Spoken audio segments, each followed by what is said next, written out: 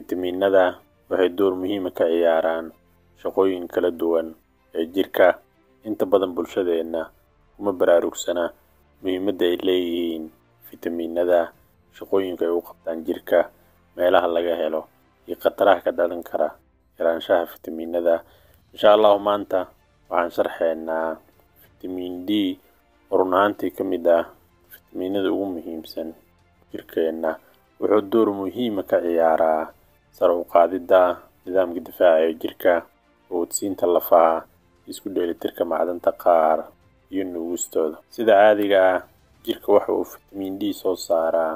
Markay qorax ku dhacdo markaas ayuu jirka guda galaa bedelidda maadooyinka fitamiin d-ga ka sameysmo.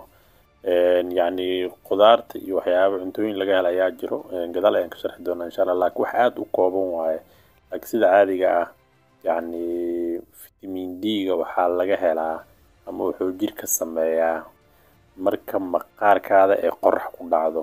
Marka haddii qofka inta badan yacni qorax uusan arkin yacni ama jirkiisa qorax ku dhicin ama waddan qabooban oo joogo wax la mid ah ama inta badan uusan bannaan ku bixin oo qorax aysan is arkin yacni waxaa adkaan doonto samaysanka fitamiin d-ga waxaana hoos u dhici doono in fitamiinkan haddii qofka in muddo ah yacni ama waqti dheer uusan qorax arkin. Marka waa muhiim qofku inuu ku dadaalo mar walba yacni jirkiisa inuu qoraxda u bandhigo. Taas micnaheedana ma ahan qofka yacni dharka inuu iska bixiyo laakiin waxaa loola jeedaa wejiga iyo gacmaha iyo wax la mid ah.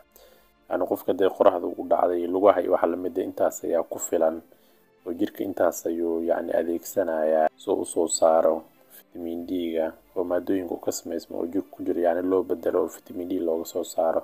Yacni intaas ayaa ku filan. Marka haddii qofka marka fitamiin d-ga uu ku yaraado maxaa dhacayo waxaa dhacaya in qofka ay ka soo muuqato afarta calaamad ay soo socoto. Kow waxa weye qofku inuu isku arko daal jirgo iyo tabardarro iyo wax la mid ah inuu isku arko. Laba qofku inuu isku arko lafa xanuun iyo wax la mid ah. Saddex qofku inuu isku arko murqo xanuun iyo wax la mid ah afar qofku inuu isku arko yacni dabeecadiisa qofka inay isbedelayso oo mararka qaar niyo jab iyo wax la mid ah oo dareemayo marka saddexdana calaamad kale ayaa ugu badan oo qofka lagu arkaa fitamiin d-giisa markuu yaraado qofka tabardaro fara badan inuu dareemo murqii xanuun oo ka dareemo yacni lafii xanuun iyo wax la mid oo ka dareemo. Marka qofka waxaa laga yaabaa xaaladaha markuu dareemo yacni inuu u maleeyo mararka qaar inuu jimicsi u baahan yahay oo yacni qofka jimicsi wax sameeyo laakiin cilada fitamiin d markay tahay yacni qofka jimicsi kasta oo sameeyo waxba uma taraayo. Qofka yacni xanuunka uu ku sii ziyaadayaa mar mar ka sii dambeyso. Oo jimicsi markuu sameeyo yacni qofka waxaa laga yaabaa maadaama yacni murqaha xanuun oo ka dareemayo tabardar iyo wax la mid oo dareemayo inuu fikiro oo isdhaho yacni jimicsi ayaa u baahanta fadhigaada ayaa badan ama nasiinadaada ayaa badan jimicsi ayaa u baahanta laakiin waxaa laga yaabaa qofka in fitamiin d-giisa uu yaryahay yacni muddana uusan wax qorax ah uusan arkin ama qoraxda inta badan jirkiisa aysan ku dhicin. Marka inta daqiiq qofka u baahan yahayna yacni dadku way kala duwan yihiin oo da-da lagu kala duwan yahay. Qofka dhalinyaro miya mise qof da ah oo lagu kala duwan yahay.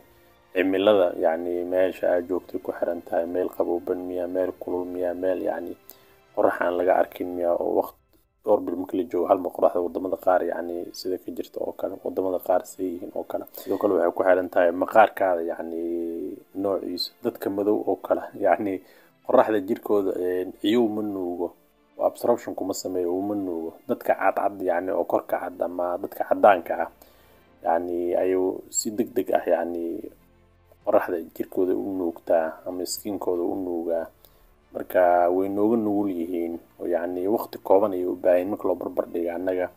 Marka da-dan waa lagu kala duwan yahay cimilada waxyaaba badan ayay ku xiran tahay inta u baahan tahay. Marka qofku waxaa wanaagsan inuu ku dadaalo maalintii dhowr daqiiqa iyo wax la mid ah.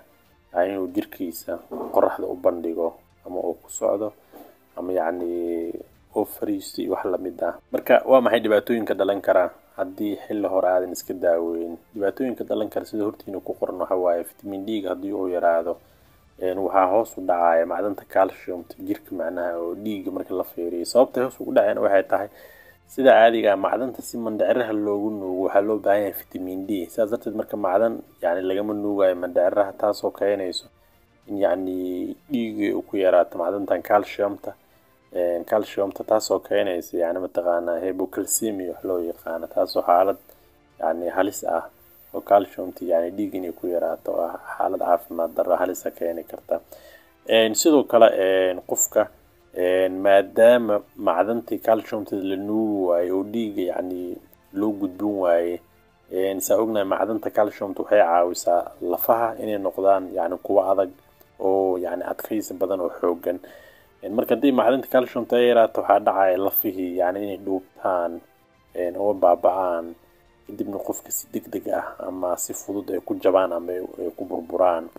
Marka iyadana waa xaalad kale oo halis ah haddii qofka waqti hore uu iska gaari waayo. Marka meesha ugu fiican ee laga helo waxa waaye qoraxda marka qofka yacni qoraxda inuu jirkiisa u bandhigo sida inuu ku socdo ama inuu fariisto wax la mid waqti kooban marka sidoo kale qayb yar oo ka mid vitamin d-ga waxaa laga helaa cuntada.